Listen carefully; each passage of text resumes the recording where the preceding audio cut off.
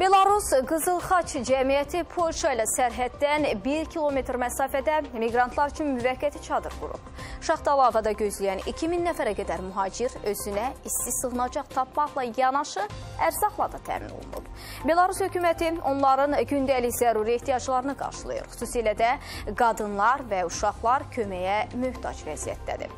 Qeyd edək ki, əksəriyyəti yaxın şərq ölkələrindəki müharibə və münaqişələrdən qaçan insanlar Avropa İttifaqında yeni həyata başlayacaqlarına ümid edirlər. Lakin aylardır sərhəddə çarəsiz vəziyyətdə qalıblar.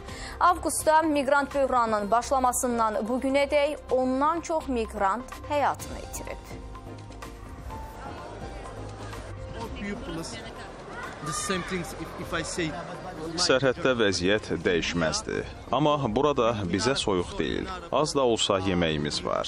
Bəzi problemlərimiz olsa da, bura daha yaxşıdır. Ümidlə Avropaya keçəcəyimiz günü gözləyirik.